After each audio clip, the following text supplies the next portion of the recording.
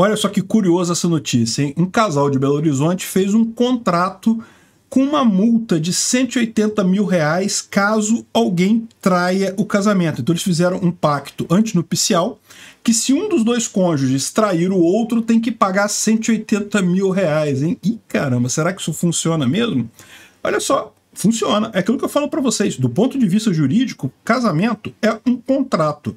Vamos entender esse assunto. Essa notícia foi sugerida por Catarina Venenosa e várias outras pessoas. Obrigado aí ao pessoal que sugeriu a notícia. Obrigado a você que está assistindo o nosso vídeo. Se você gosta do nosso conteúdo, por favor, deixe o seu like e se inscreva aqui no canal, né?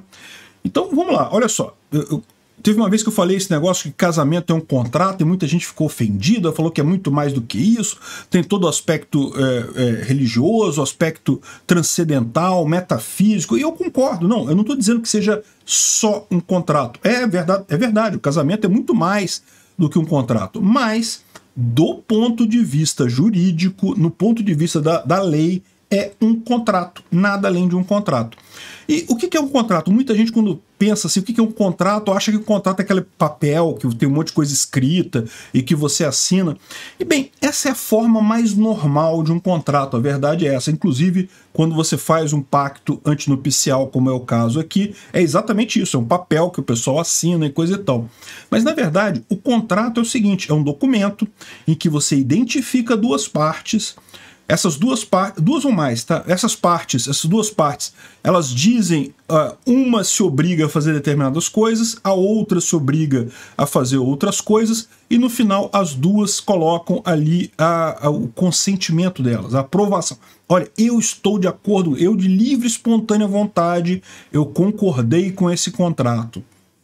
Então, isso é um contrato. Como é, foi, é, como é feito, se é falado, se tem, se sei lá, o cara rabiscou em algum lugar, se fez um vídeo, gravou um vídeo, as pessoas falando, isso não importa. O que importa, o que tem que ter é a identificação das pessoas, das duas ou mais pessoas que estão fazendo parte do contrato, a lista de obrigações que cada uma dessas pessoas tem que fazer. Então, por exemplo, um contrato de compra e venda. Uma pessoa se compromete a entregar o imóvel para outra e a outra se compromete a dar o dinheiro para aquela uma pessoa. Pronto. Compra e venda. Está decidido. Promessa de compra e venda. Ou contrato de, sei lá, de. É, babá de aluguel. Um, uma, a, a babá se, se, compromete a cuidar dos filhos da, da pessoa, a pessoa se compromete a dar dinheiro para babá. Pronto. Contrato é isso. É obrigação de cada parte e o consentimento livre e desimpedido no final. Veja se o casamento não é exatamente isso. Você vai lá na igreja, você entra na igreja com um monte de testemunha é, testemunha, não é o nome que usa, testemunha, os padrinhos que estão ali, né? E, uh, e o padre fala assim: olha, você se compromete a ficar com ele na doença e na tristeza. E, caramba, eu já esqueci como é que é os votos, mas né, na doença e na riqueza, não sei lá o que, não sei lá o que, você se compromete a ficar junto e coisa e tal, e pipipi, popopó, e só vai separar na, na hora da morte, coisa e tal. O que, que é isso? É um monte de obrigações que vocês estão se comprometendo ali. E aí o padre ainda pergunta: você aceita mesmo isso daí? Você tem certeza que você aceita esse negócio? Olha o consentimento. O casamento é, é o arquétipo do contrato, é exatamente um contrato. Identifica as pessoas, elas definem determinadas obrigações que elas vão seguir e no final elas dão o consentimento delas na frente de testemunhas para ninguém poder dizer depois que elas não se, prometer, não se comprometeram com aquilo que foi prometido. Né? Tudo bem, depois a coisa ficou mais bagunçada, esse papo de até a morte hoje em dia é meio relativo, o divórcio está aí, um monte de gente divorciada, eu sou divorciado. Enfim, o ponto é esse. O que muita gente não sabe é que, além das obrigações naturais do contrato, você pode assinar um contrato pré-nupcial com outras obrigações adicionais. Você pode colocar o que você quiser. E, aliás, isso seria uh, o padrão numa sociedade anarcocapitalista, porque numa sociedade anarcocapitalista você não tem lei. Hoje em dia você tem uma lei que é tipo o contrato default de casamento. Então, se você não fez nada, não assinou nenhum contrato, o que vale é o que está na lei. E numa sociedade libertária não tem isso, né? Na sociedade libertária você, a lei é, é, justamente feita entre as pessoas, não é um Estado que define a lei. Então você tem que fazer esse contrato antinupcial no casamento. E o que, que eles fizeram aqui? O que, que esse casal de Belo Horizonte fez? Eles fizeram um contrato antinupcial, eles estão muito preocupados com traição, É, então colocaram uma multa de 180 mil reais em caso de traição. Isso é válido no ordenamento jurídico brasileiro? Sim, é válido. Os noivos são é, é permitido a eles acertar qualquer condição é, no acordo pré-nupcial. Então tá valendo. Se um deles trair o outro ao longo do casamento, o outro vai poder alegar essa cláusula e na hora de dividir os bens vai dividir e mais 180 mil reais vai ficar para o lado que foi traído. É, evidentemente vai ter que ser comprovada a traição e coisa e tal, mas é perfeitamente razoável isso daí.